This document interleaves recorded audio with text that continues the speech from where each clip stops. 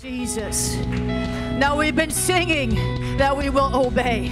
We've been singing about how much we love him. Now I wanted to do a prophetic act. And some of you won't like this, but that's okay because Jesus will like it. I want you to find a piece of paper and I want you to write down whatever it is that you put before the Lord. The Lord is saying it's time to cast down the idols.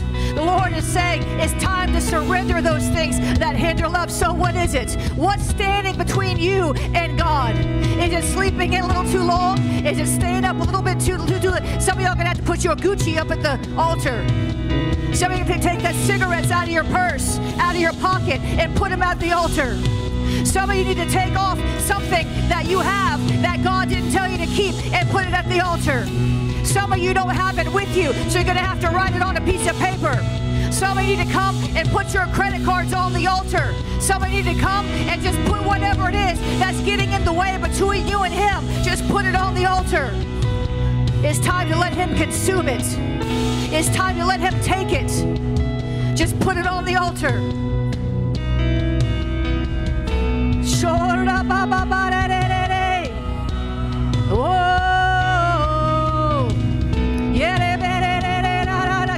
It's victory.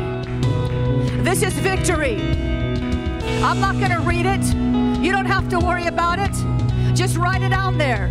Some of you have something in your possession that you need to put on the altar. Woman of God, just put that prayer shawl on the altar. Some of you have something in your possession. You just need to put it on the altar. Just leave it there.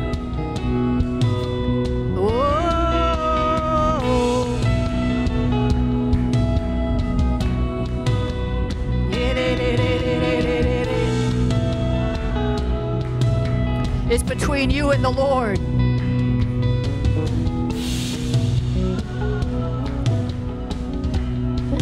He'll take the desire away for whatever it was as you put it on the altar. You won't want it anymore. You won't care a thing about it anymore. It's all about Him. He's the King, He's the Lord, He's the Holy One of Israel. He's the forerunner, the faithful witness. He's the lover of our souls and the lifter of our heads. He is our everything, and we give him the preeminence. No longer will we allow things, material things, natural things, get in the way of us and our God. Oh.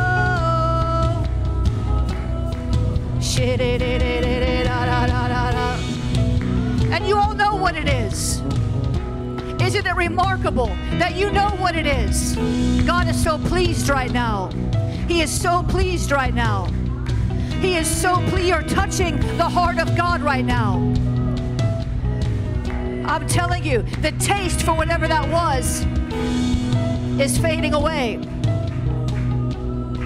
Some of it is the approval of people. That's an idol. Some of it is money. That's an idol. Some of it's entertainment. That's an idol. If you, some of you weren't so far away from home, I said, go get your TVs and put it on the altar.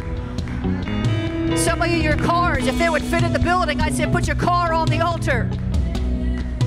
But since we can't do that, this is a prophetic act. And the Lord's going to free you from that thing.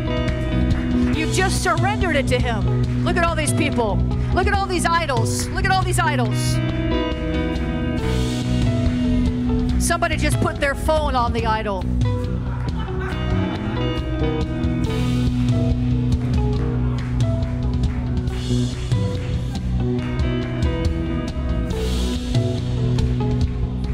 It's a nice phone, too. I think I'll keep that.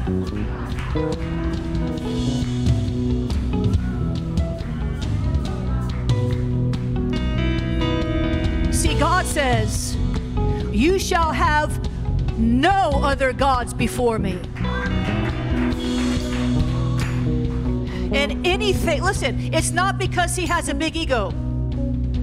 It's not because he needs you to feed his security.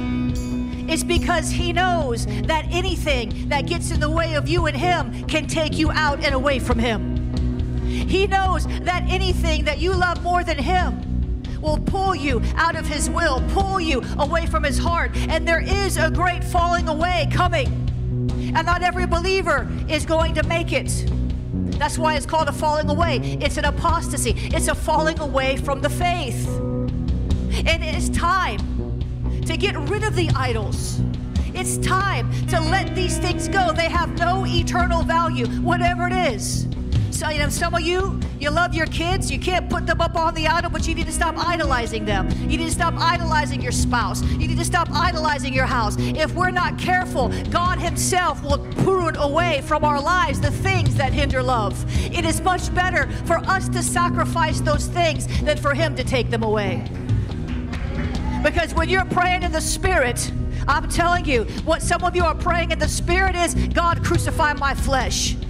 When you're praying in the Spirit, you're praying the perfect prayer. You're praying, Lord, remove the idols, remove the people that I put ahead of you, remove those friends that I like to be with more than I like to spend time with you. That is what is happening when you yield yourself to Him in prayer. He will deal with your idols. And some of you feel like you got betrayed. And the Lord says it wasn't a betrayal. The betrayal was for your betterment because those people were consuming your time, and I want to consume all of you. Come on. He's an all consuming fire. He wants everything. He's not satisfied with half your heart. He doesn't want half hearted Christians. He's not satisfied with three quarters of your loyalty. He wants it all. He deserves it all. He's worthy of it all. He died for it all. He paid the price for it all. So, Father, we thank you. We thank you. I see all these idols here, the representation of these idols. And Father, we give it to you. We give it all to you, God. Take away our taste for these things. And when you can't take away the taste because it's something that must remain, help us to put it in the right place. Help us, Lord, to seek first the kingdom of God. Other things have their place, but not before you.